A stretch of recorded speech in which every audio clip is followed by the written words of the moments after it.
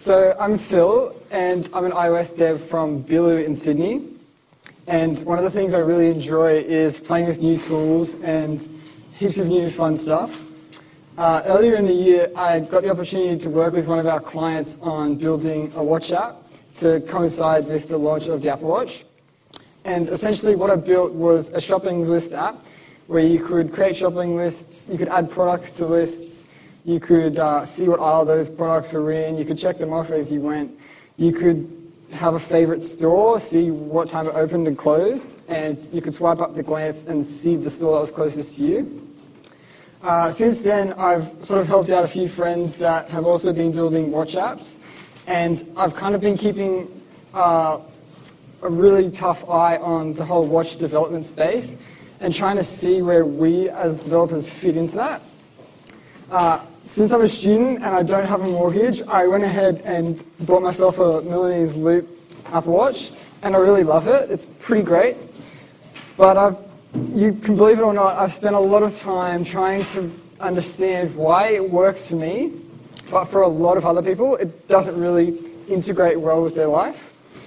And I've tried to look at the ways that us as developers can sort of improve that experience and sort of make it more engaging. Uh, one thing I've noticed about the Apple Watch is that way more than the iPhone, the entire value of the watch is in the value of the apps. So the entire usefulness of this product comes down to how useful and how effective the apps are at engaging users. And right now we're in the really early stages of that, so the apps aren't really great. But if you were watching the keynote at WWDC, WatchOS 2 is just about to be launched, and I've played with it a lot, and there's a lot of really drastic changes to the APIs that are coming that are going to let us do really great things to make our apps better. Uh, this session, I'm going to break down the process of WatchKit development into a few key aspects that hopefully by the end will give you an idea about how to build apps that don't just do something, but they do it in a way that's really engaging and really intimate for your users. And so I'm going to touch on some of the affordances that we make based on the fact that we're building software that actually runs and people wear on their wrist. And how those affordances can sort of inform the way that we approach our process and the different types of interaction that your users are going to experience your app with, like glances and handoff and notifications and now even complications.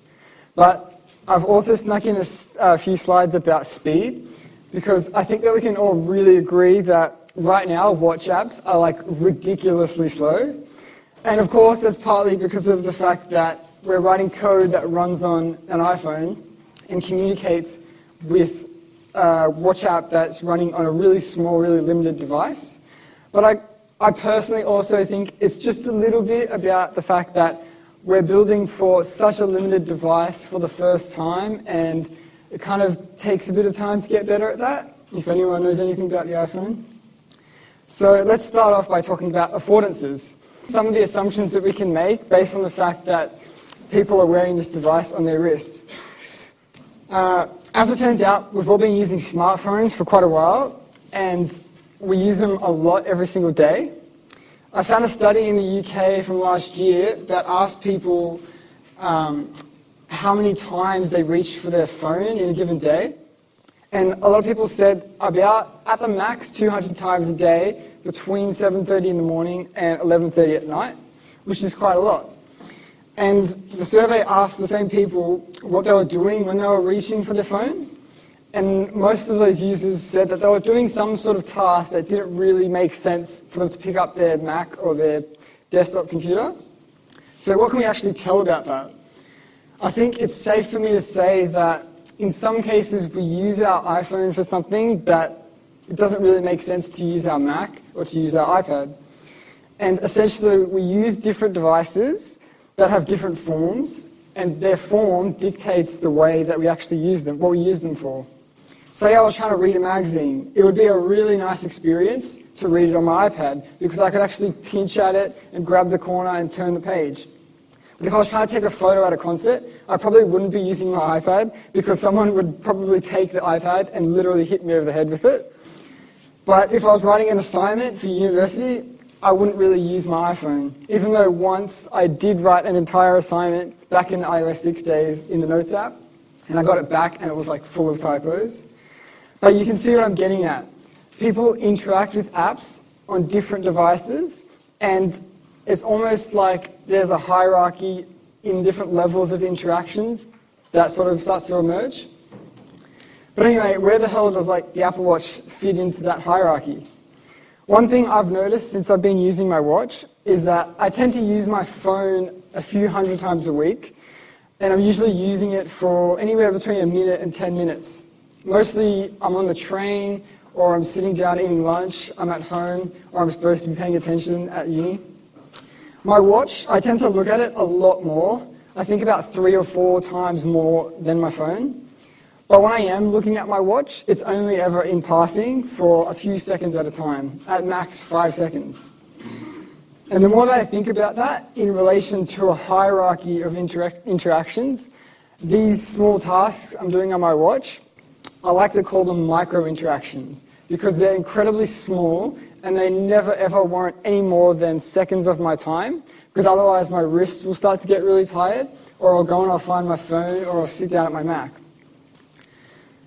And if we take away everything digital about the Apple Watch and just consider it as a watch, what is the actual intention of a watch? Like, what is it supposed to do? Of course, it's something that's made for utility.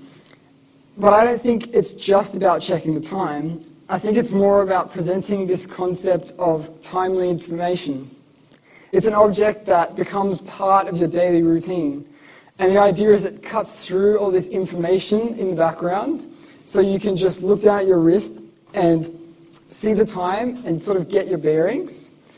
But these days, just being able to see the time isn't really as useful as it was we're consuming all this new information. In any given day, I'm getting tweets and messages and calls and Snapchats and Periscopes and Slacks and all this other stuff.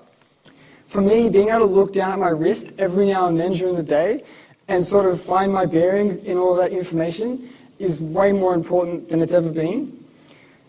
And from all that, we can kind of assume a really simple truth that people want information, but they want it in a really simple and quick and easy way.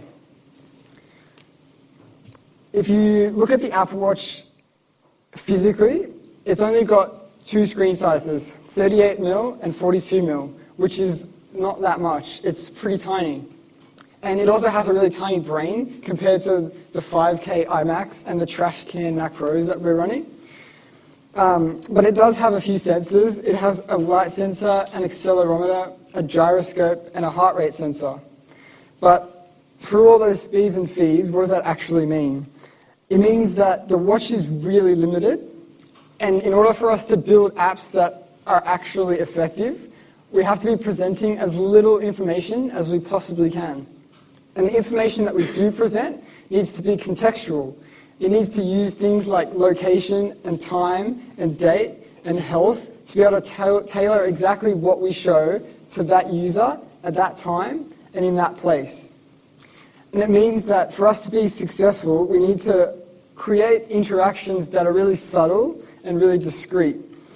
We have to distill the essence of our iOS app into a really tiny but still useful and relevant package. Before I look at a few of the interaction patterns that your users are going to approach with your app, I want to consider speed. Because when you think about iPhone and you think speed, you're probably going to think about this really insanely powerful processor that they keep managing to shove into a really thin package every single year. And you're going to think about the guy that wears the scarf and stands on stage demoing his latest 3D game on the new iPhone. But the Apple Watch has like no graphics capabilities whatsoever, and you kind of think that this would mean we should be approaching developing for the watch differently. I think we should be less forgiving about what we do and what we ask the processor to do. We should be covering our tracks and trying to find smart ways to accomplish more things by asking for less. And then the Apple Watch launched, and many of our apps hit the store. This is all we saw. I remember the first day of the Apple Watch launch really clearly because none of us had tested our apps except for judging the performance of the app in a simulator that was running on a quad core dev machine. And then we opened up our Apple Watch with glee and started up our apps, and we just looked at this endlessly spinning ring of death. A few small selections of developers went back to the drawing board and they actually redesigned their entire watch app just to be faster. But I think a lot of us still haven't really taken that into account and haven't changed our apps that much. So I went to WWDC in June with this in mind, and I knew there was something that could be done. I just needed to find out where, uh, what it was, and where to find it out. So I tailed a few engineers into bars late at night, and I got a few results. Buried in all the documentation for WatchKit OS 1 is a diagram really similar to this, and it outlines the life cycle of a WK interface controller in relation to the actual real world interactions with a user. And when I, read, when I first read over this back like early last year, I, did, I just sort of looked over it really quickly. It didn't take much into account. But actually hidden in this diagram is a really subtle but really important point for speed. The life cycle of an interface controller is only slightly different to what you would expect from a view controller. Structurally, they're the same thing, but in a, in a real world, a view controller is going to get initialized the first time you load it, and then it'll eventually appear on screen, and the user is going to tap around and interact with the subviews for a few minutes, and then eventually the view controller is going to disappear. But an interface controller's did appear and disappear expectation is a bit different. So if we take a scenario, I'm on my iPhone and I'm connected to a blazing fast Wi-Fi or 4G network, and I open up my train timetable app. I tap on the station that I am at, and where the app, we initialize the view controller, and then view appear gets called, and so we trigger a network request to go and download the latest timetable data. And then it comes back, we're going to update the, all the subviews with the new timetable. So this might mean that we set all the values and all the labels, and if we've downloaded some images, we're going to set all those images in the image views, and then let's reload the entire collection view so it shows on screen. Uh, on a watch, an interface controller is likely to appear, then disappear, then reappear in direct succession a lot more. If I'm a user and I'm walking to the train station, and then I raise my wrist and I flick up my favorite timetable app, and then the view appears, so the app kicks off a network request to download the latest timetables data. But then my arm gets really tired, so I'm going to put my wrist down, or I'm really distracted, I'm going to run to the train. And then I decide, okay, I'm going to raise my wrist again to see the timetable. And what I don't want to do is have to wait for the app to kick off an entirely new network request for the exact same data that I just requested because I'm just going to sit there and see a spinner twice as long. So I get fed up and I just look at the timetable board because it's really easy. As a user using my Apple Watch, when I interact with apps, whether it's a glance or the app itself or any other view, I don't expect to be waiting. It's a watch, I want the information instantly. So let's step through that life cycle in a bit more detail. We're an interface controller and we get initialized. Yep, we all know this, it's pretty standard. We set up our interface controller, any of the initial values, but we don't really need to be performing any network requests because we're just waking up. For an interface controller to be pushed onto the screen, something had to have asked it to do that. So maybe the user's tapped on a table and we're showing more detail for the the object in that row. So the system will call awake with context, and that table row might be able to provide a dictionary that has some contextual data, like a view model for whatever was in the row. At this point, we should be setting initial values for the views on the screen, whether they're labels or images or tables. Um, awake with context only gets called a second time if the user navigates away from the view and we lose reference to the interface and then we have to build it up again. So if we need to trigger a background network request, this is the time. The request is only ever going to get created once unless the user leaves the interface and then comes back. And the most important thing to note is that this is where the bulk of all your setup for, an, for a view that's on screen happens. Uh, right before the view actually shows on screen, the OS is going to call will activate. And what we should do here, and obviously what we shouldn't be doing, is really, really important. When will activate is called, I shouldn't be triggering another fetch request every time it gets called. Because that request can take X amount of time and we have no idea what that's going to be.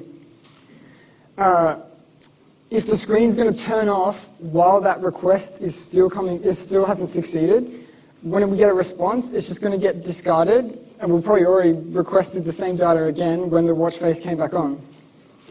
And at the same time, I don't want to be using anything like the Open Parent application reply method, which is actually now deprecated, or the new watch connectivity framework, to be making any requests that have to wake up the iOS app, which could take any amount of time, and then come back. Instead, I should actually just be performing a check to see that at this point, the data I requested in a Awake with context is not out of date. And if it is out of date, then yeah, I can schedule a background task assertion for a network request. And a background task assertion is just this method that lets you perform a task in the, in, when your extension is running in the background and essentially, all you do is give it a block, and it gets scheduled to be performed asynchronously on a concurrent queue. And the system will take a background task assertion and then perform your block. When that request comes back, or even if I haven't made, a request, I should only be updating the labels and the views on screen whose data has actually changed. If my timetable, timetable app went and downloaded all the latest times, gets back, and nothing's changed except for the fact that the next train might be five minutes late. I shouldn't be resetting every single label that's on the screen. And I shouldn't be clearing the labels by setting them to some weird value like calculating or emptying them and then setting them to the right value when the response comes back. No matter how tempting it could be, no matter what anyone tells you, don't design your own custom spinner and then blank out the screen and display a spinner while you're making a request. Instead, leave the old, out of date data on the screen and only update the values that have changed. By doing this, the user doesn't see your entire interface go black for three seconds and then flash back again when your request is done, or your labels jump to calculating, then jump back it will actually make sense for the user to see all the information on the screen get updated. The system even provides you with a little loading indicator in the top right and a last updated label, and they'll know that your app is getting the latest information. When the user puts their wrist down and the screen eventually goes off, the interface is called on did deactivate, and at this point, your interface is not going to go away forever because the chances are it's going to come right back, and that might be almost instant. So use this as just an opportunity to clean up your interface. If you're performing animations or you're going to calculate some weird thing that won't be there when you come back, then get rid of it. But the system will actually block any of your attempts to change the value on labels, to clear anything, or to remove anything off screen. This is where thinking about the patterns of interaction of a real user are going to dictate the, our approach to the WatchKit development process. We have to remember that we're on a watch and the user hasn't stopped what they're doing to sit down and use their phone or to pick up their iPad or their Mac. So we have to cater for that. Users interact with Apple Watch apps on a really small scale, and they don't want to wait for you to build the entire world behind a loading spinner. One of the most important challenges of designing a watch app is getting speed right. If a user has to wait for you, then you've already failed it. Um, now is the most used interaction that your user is going to see, a glance. If you aren't familiar with WatchOS apps, then a glance is essentially just a non-scrollable view that they can access really quickly by swiping up from the watch face. They're optional and they're not at all a requirement for building a watch app. And that brings me to my first point, which is not all apps need glances. Yeah, your iOS app has the ability to show your user's kill streak in a glance because the data is already there, so why not, right?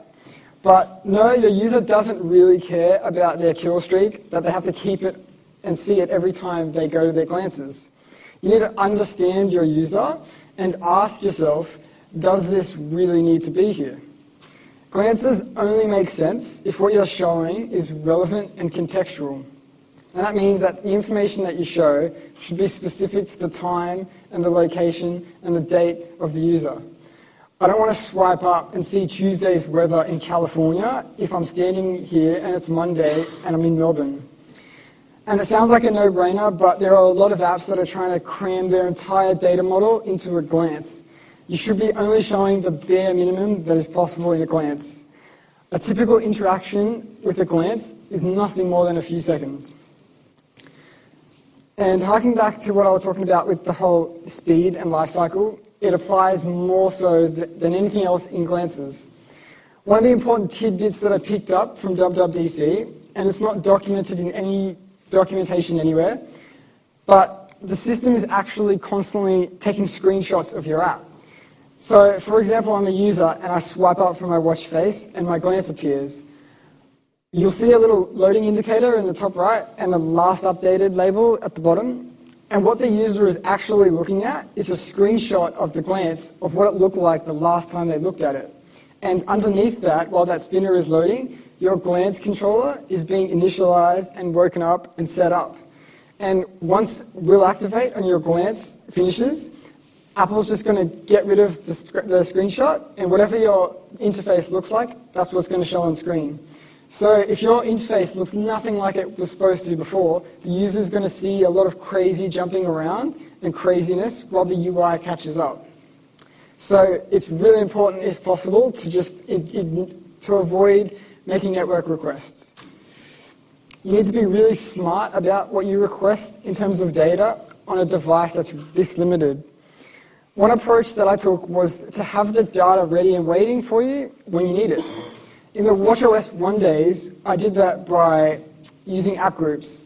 I would have the data pushed down to my iOS app in the background, and I would store those changes in the app group. And then whenever my watch needed to access it, it was really easy, just a matter of loading that from the container. And in WatchOS 2, they've deprecated Open Parent Application Reply, and they've actually recommended that you keep the data of your watch app and your iOS app completely separate. So one way that you would avoid network requests might be to still push changes down to your iOS app in the background.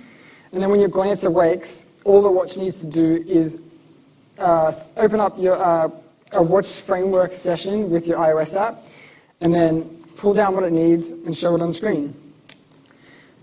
Glances are really like the most important interface that your users are going to interact with your watch app. Glances are all about quick access, so you need to minimize network requests as much as physically possible. Focus on solving one single user's need, like a weather app that shows the current weather. If I need the full forecast for the week, I can tap and go into the app.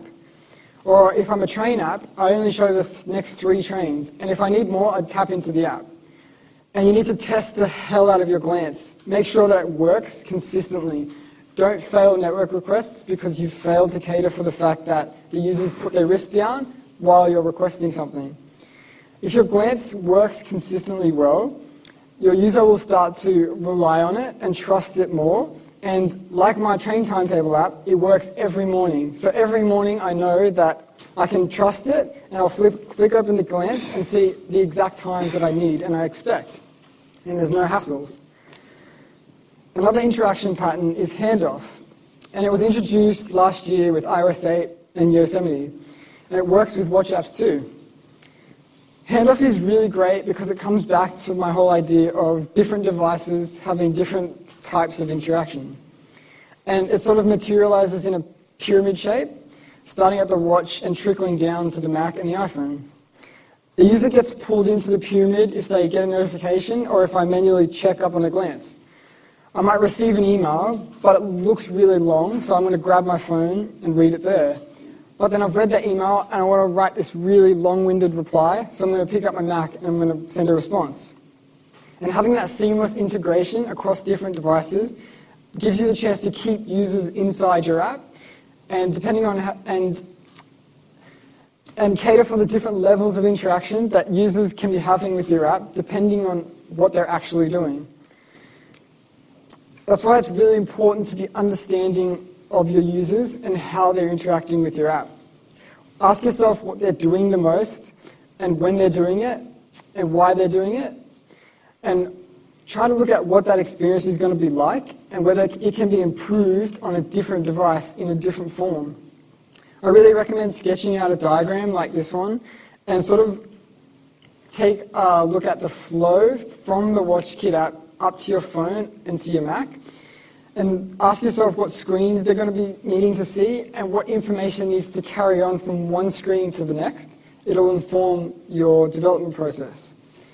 On a technical level, handoff is actually ridiculously easy. All you do is use this method to update user activity user info web page URL, and you're constantly pushing user activity to the OS, which takes care of everything else. You might provide a little user info dictionary every time you publish, and it contains some form of information that you expect to be able to unravel on the other side. So if a user opens up your train glance on Wynyard Station, you immediately update the system with a dictionary containing the view model for Wynyard. And then when they swipe up on their iPhone, they're dropped immediately into your app, which awakes and gives you the same user info object that you use to unravel and drop them into a really nice detailed view of Wynyard Station. Another interaction is notifications. Notifications are really important for making your users aware of changes to your app as they're happening.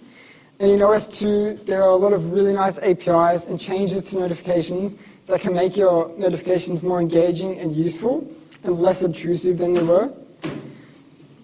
Uh, on the Apple Watch, they arrive in a few different shapes and sizes. They make sounds and they trigger, trigger taptic feedback, and they show you a short glance interface with less detail, and then a really long glance interface with more detail. And some of them have action buttons that your user can actually use to make decisions or notifications without opening your app. And they all serve this one purpose of getting information out of the way and allowing your user to do things faster and dismiss incoming information faster. Uh, for me, one of the shining moments of Apple Watch is being able to use haptic feedback. I can be alerted of different types of notifications without even having to look at the screen of my watch. I know what a text message feels like in comparison to a tweet, so I can ignore a really unimportant tweet at an unimportant time without even having to tap or look at anything. And in OS 2, Apple's going to give us a lot of APIs to customize the type of taps that our notifications can send. If you use WK haptic type, you can send notification, direction up, direction down, success, failure, retry, start, stop, and click. And they're all going to sound slightly differently. At WWDC, I went to a really great session from Jake Behrens called WatchKit Tips and Tricks. And he demos all of these sounds, and you can actually hear what they sound like in comparison. So I recommend that you check that out. Uh, and the final interaction that I want to briefly touch on is complications. WWD's, uh, complications were introduced at WWDC as part of OS 2, and I spent a lot of time playing with them in the beta. And I think that they really round out my idea of creating intimate interactions with users. Uh, I think complications are great and they make a lot of sense when you think about what complications actually are. And really, they're just another way to distill all this complex information that's weighing your app down into a really tiny modular window that lives on the face of the Apple Watch. And just like a glance, not all watch, watch apps need complications. But for the few watch apps that do, they allow, use, uh, they allow apps to provide the most valuable information that a user wants to see. To a user, a complication is just a collection of information that they care about the most because every time they look at the time and they look at their wrist, they're going to see their complications. And your apps have that opportunity now to create a really intimate connection that becomes part of a daily routine for a user. Uh, I wasn't going to go into the same amount of detail because Chris was supposed to talk after this about creating complications. But essentially, you get modular small complications, which are the small square ones in the corner, and modular large, which are large rectangles in the middle. Then you get circular small, which are the small circles in the corner. But then you also get access to utilitarian small rectangles and utilitarian large rectangles that take up the full width of the watch face. Uh, not all watch apps are actually suited to using complications, they tend to work best for apps that have data that makes sense if it's configured in a timeline, kind of like notifications. And if your app has information that changes over, over time, the user might want to be aware of that information in a more subtle way than a notification.